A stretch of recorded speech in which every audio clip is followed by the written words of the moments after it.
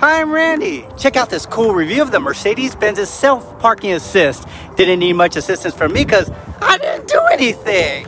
And by the way, if you love cool car videos, car reviews, just click on my channel, subscribe, and look at all my cool car reviews.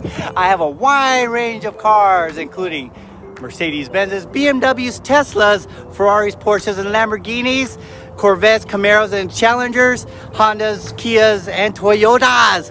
I do all of them. Check out this review of the Mercedes-Benz self-parking assist. Check, check, check, check it out. This is how you activate the self-parking feature. Click the camera button at the top of the screen and that turns on the parking sensors. As you drive forward, it searches for a space that fits your Mercedes-Benz. Try to have faith in the parking feature. It'll take some time to get used to since your Mercedes will get inches really close to the car you're going to be parking next to.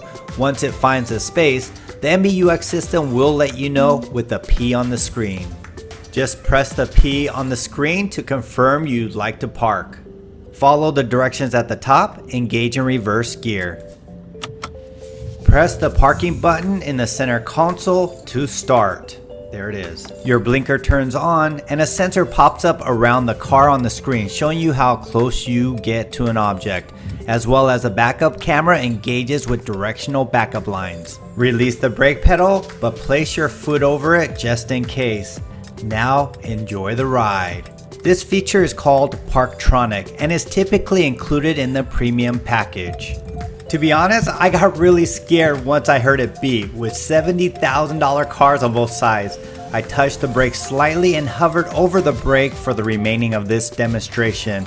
In the last clip of this video, you'll see that I got brave and didn't have my foot even close to the brake. It took about 7 times for me to use this feature before I got somewhat comfortable.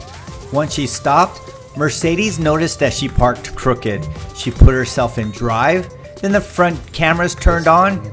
She went forward to straighten herself out. Then she put herself in reverse and continued to back herself in. In some cases, that just didn't sound right. Oh man.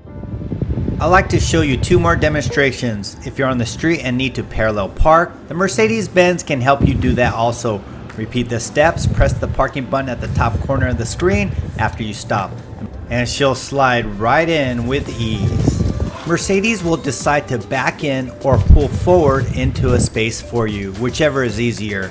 In this case, she decides to move forward into a space. Just lift your foot off the brake pedal and let her do her thing.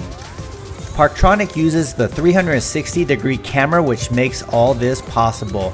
It facilitates entering and leaving if the vehicle was parked automatically parallel. The 360 degree camera transmits a realistic augmented image for you to see. When leaving a space, the system is also able to warn you of traffic crossing or a person is behind the vehicle and can automatically apply brakes if needed. So there you go, Mercedes-Benz self-parking assist, which didn't need my assistance.